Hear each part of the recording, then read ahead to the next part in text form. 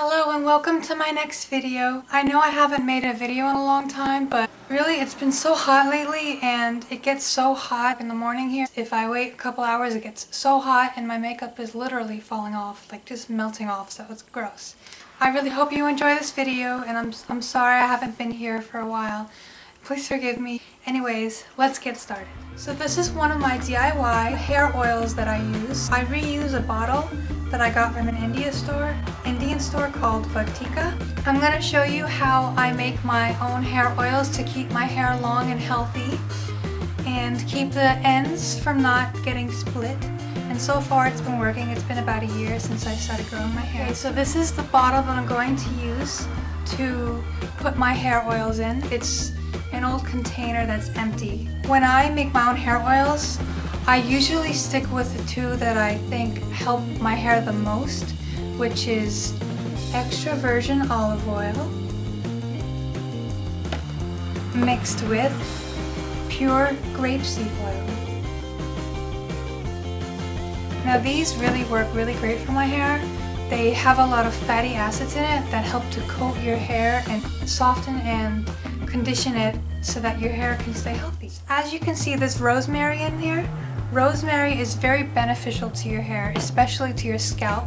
I've heard that it actually can stimulate hair growth because it brings blood to the scalp, which helps it to grow a little faster. I'm just going to take this off, and I'm going to do about half and half equal parts of pure grapeseed oil and extra virgin olive.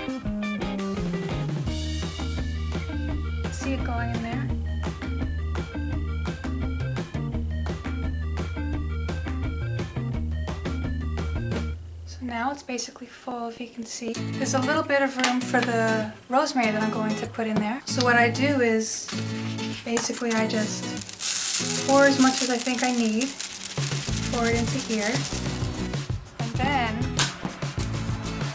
fold it like this, smell it, it smells good. Then I just very carefully pour it into there, trying not to spill.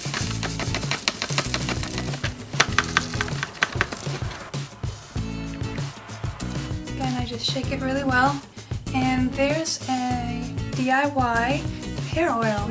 I don't want to actually put rosemary in my hair, so I just want the oil that's infused with it. I'll usually take a cup like this and something like this, a little strainer, start to pour it into the cup without any of the rosemary getting in there. See how it's strained it all? There's almost no rosemary in there. So now I'm going to actually put it in my hair. I don't want to get anything on here, so I'm just going to take this off.